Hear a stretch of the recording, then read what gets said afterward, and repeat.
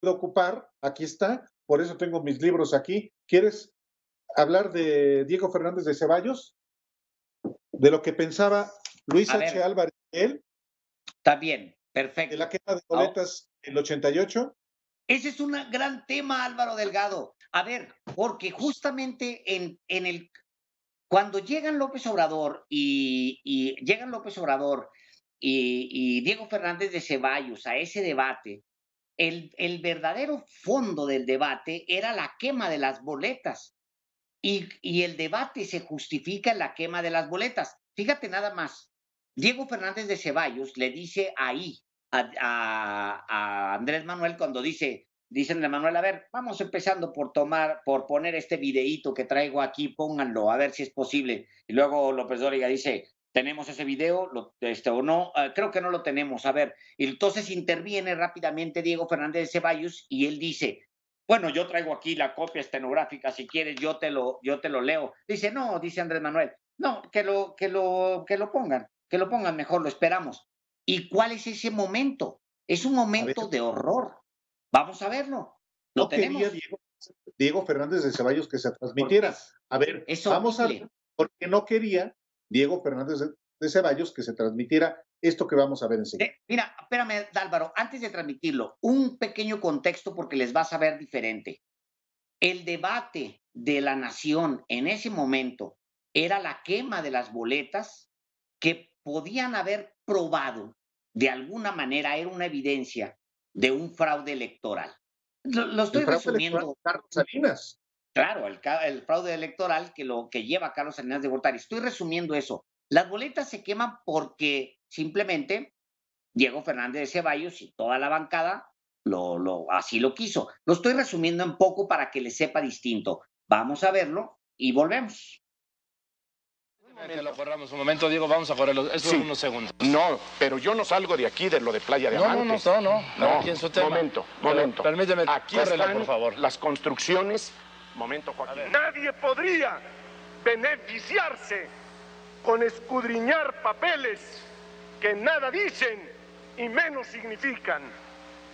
La bancada panista acepta que se destruyan esos míticos documentos y que cállense, y que esos cientos de toneladas de papel se procesen, se reprocesen y se regeneren como reclamamos que se regenere la vida pública de México.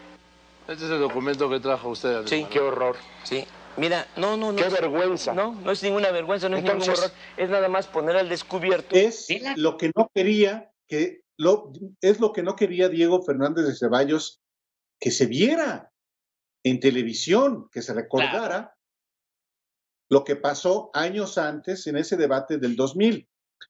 Porque en efecto, no solamente es la manera en que avala que se quemen, eh, sino la manera en que lo dice. Y cuando hay gritos, cállense.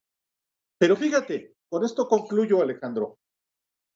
Luis H. Álvarez, que fue el presidente del PAN cuando los acuerdos con, el, con Carlos Salinas escribe en sus memorias, medio siglo, lo siguiente, dice, de la relación con el salinismo no estoy arrepentido del diálogo que entablamos, sino de un detalle menor pero simbólico. Es el episodio de la quema de boletas electorales porque yo lo acepté. Diego fue quien me planteó la iniciativa bajo el argumento de que ya de nada servían, dado que habían estado a disposición de cuanta persona las quiso consultar. Accedí a su solicitud. Sin embargo, hoy me arrepiento de ello porque esas boletas merecieron nuestra gran crítica tres años antes. Y cuenta que en una ocasión, Diego Fernández de Ceballos le dijo a Luis H. Álvarez, oiga de Luis, usted me reinventó, si no es por usted, yo no hubiera regresado al PAN. Y entonces le dije, cuenta Luis H. Álvarez, pues no sé si la patria algún día me lo vaya a reclamar.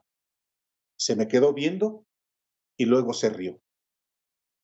Luis H. Álvarez sobre Diego Fernández de Ceballos y la quema de las boletas electorales de 1938. Yo, fíjate nada más, porque había, Álvaro, tenemos que irnos a un corte, por supuesto, rap, eh, ya ahora mismo, pero porque había eh, una, nobleza en ese hombre, en Diego, en, en eh, Luis H. Álvarez. Yo, yo lo recuerdo a él en otro momento. Después, obvio, viene todo lo de Salinas y viene todo, este, lo, lo recuerdo a él en otro momento en un momento en el que él está luchando por la, por la democratización del país, en ese momento. ¿Cómo puede Carlos Salinas de Gortari sentar a ese hombre que ha eh, hecho una huelga de hambre contra el fraude electoral, Luis H. Álvarez, que ha eh, marchado, que ha tomado calles y ha movilizado a gente? ¿Cómo puede Carlos Salinas de Gortari haber doblado a Luis H. Álvarez y haberlo contaminado como los contaminó a casi todos ellos, bueno, como lo hizo también con todos los intelectuales del momento, los agarró y los sentó. Es más, a los de la izquierda más radical los agarró y los sentó. Ese era Carlos Salinas de Gortari, por eso la huella de Carlos Salinas de Gortari sigue hasta el día de hoy. Antes de irnos, ya nos vamos a una pausa, pero voy a contar nada más una cosa que dice Luis H. Álvarez en este libro. Carlos Salinas en algún momento le dijo, ¿cómo anda de dinero don Luis? ¡Híjole! Vamos a una pausa y regresamos.